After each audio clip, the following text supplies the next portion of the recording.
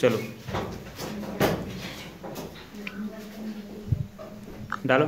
Potassium permanganate एक प्रबल ऑक्सीकारक होता है जो कि ग्लिसरीन को आसानी से ऑक्सीकृत कर देता है। ऑक्सीकरण की इस अभिक्रिया में धुआँ और आग की लपटें निकलती है। चलिए देखते हैं प्रयोग द्वारा।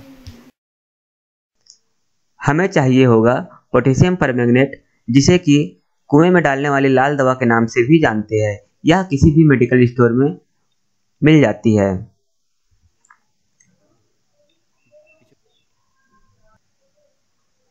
दूसरा हमें चाहिए होगा ग्लिसरीन।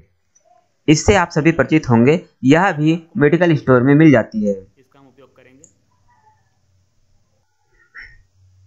अब हम एक पात्र में लगभग आधी छोटी चम्मच पोटेशियम परमैंगनेट लेते हैं।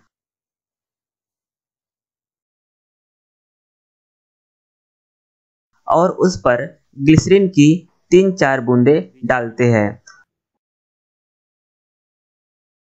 और हम देखते हैं कि पहले धुआँ उठता है, फिर थोड़ी देर में आग की लपटें दिखाई पड़ती है। इस प्रयोग की गति पोटेशियम परमैंगनेट की ऑक्सीकारक प्रबलता पर डिपेंड करती है।